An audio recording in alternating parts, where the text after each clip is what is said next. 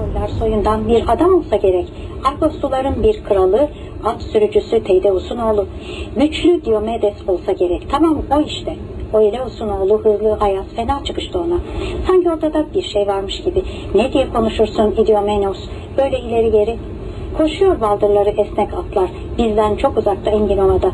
O kadar genç de sayılmazsın Argoslular arasında. Kafandaki gözlerde o kadar. Geri konuşur, coşarsın boyuna. Yakışmaz sana böylesine coşkun olmak. Aramızda senden çok üstünleri var.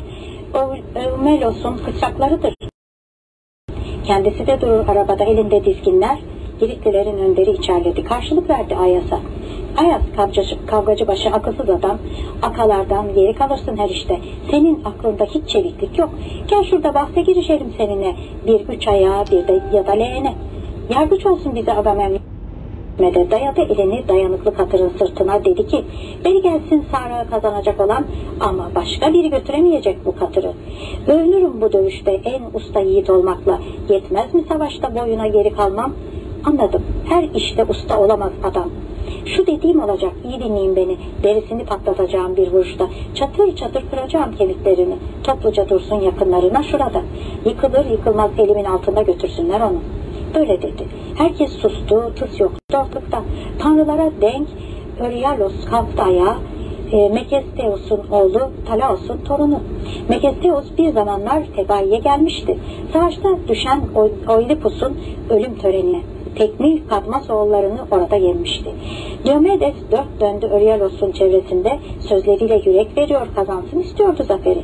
Önce beline bir kemer geçirdi, sonra öküz derisinden bir kayış verdi eline. İki yiğit kemerleri sıkıp çıktılar alana, yürüyüp karşı karşıya geldiler. Güçlü kollar kalktı havaya. Atıldılar birbirlerinin üstüne, kenetlendiler ağır ellerini. Çatır çatır çatır diyordu çeneleri, kollar, bacaklar, bedenler kalmıştı ter içinde. Öryalos bakarken dört bir yana şaşalamış gözle, tanrısal Epeyos onun üzerine saldırdı. İndirdi yumruğunu yanağına. Daha çok tutunamadı ötekisi. Çözüldü eli, ayağı yıkılıverdi yere. İçinden ayakları sürünüyor, kan kusuyordu parça parça. Başı bir o yana sarkıyordu bir bu yana. Bir yerde oturtulan bu adam tüm bitikti. Almışlardı giderken iki kutlu Sara da bundan sonra ortaya Peleus oğlu üçüncü yarışmanın ödülleri için ter aktı bedenlerinden. Sürü şiş kabarıyor kalçalarında, omuzlarında. Kan kesiliyordu tenleri kıpkırmızı. Güzel işlenmiş üç ayak için direniyordu ikisi de. Ama ne Odysseus Ayas'ı sendeletip getirebildiği yere ne de Ayas kırabildi Odysseus'un gücünü. Bir bıkkınlık gelmişti güzel dizlikli akalara. Telemanoğlu Ayas Odysseus'a dedi ki çok kurnaz Odysseus, Laertes oğlu Tanrı'dan doğma. Ya sen beni kaldır ya ben seni kaldırayım. Ulu Zeus karışsın ötesine böyle dedi. Çalıştı onu kaldırmaya ama Odysseus bir düzen kurdu. Bir çelme attı arkadan çözdü bacağını. Ayası sırt üstü düşürdü yere. Kendi de göğsünün üstüne düştü. Şaşkın şaşkın baka kaldı halk. Çok sabırlı Odysseus kaldırmak istedi Ayası. Bir parçacık kımıldattı onu yerden. Ama kaldıramadı daha yukarı. Çelme taktı bacağına. Düştü ikisi birden. Yuvarlandılar toprakta alt alta üst üste. Son güreşe davranırken tam Akileus kalktı ayağa tuttu onları. Direnmeyin artık hırpalamayın kendinizi. Ödülleriniz eşit. Zafer her ikinizin. Beri gelin bırakın yarışın. Yarışsın başka akalar. Böyle dedi onlar da candan dinlediler sözünü. Üstlerinden tozları silkip giydiler ruvalarını.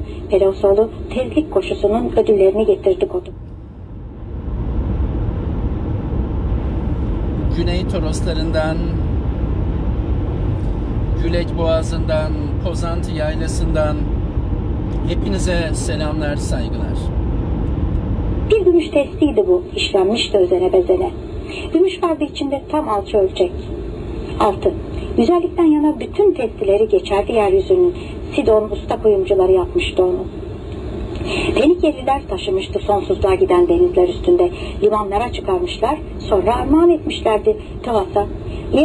İason'un oğlu Eionos onu Yiğit Patraklos'a vermişti. Priamos oğlu Likeon'a kurtulmalık diye. Şimdi Akileus dostunun şerefine ödül yapıyordu. Gidecekti bu ödül hızlı ayakları en çabuk koşana. Yağla dop dolu kocaman bir öküz kodu ikinci gelene. Yarım ölçek altındı sonuncunun ödülü. Akileus durdu ayakta. Argoslulara şöyle dedi. Kalksın bakalım bu yarışa girmek isteyen. Der demez Oileus oğlu çelik ayaz fırladı ayağa. Odysseus da kalktı. Nestor'un oğlu Antilokos da Antilokos tekmil delikanlıları geçerdi koşuda. Dizildiler sıraya Akileus gösterdi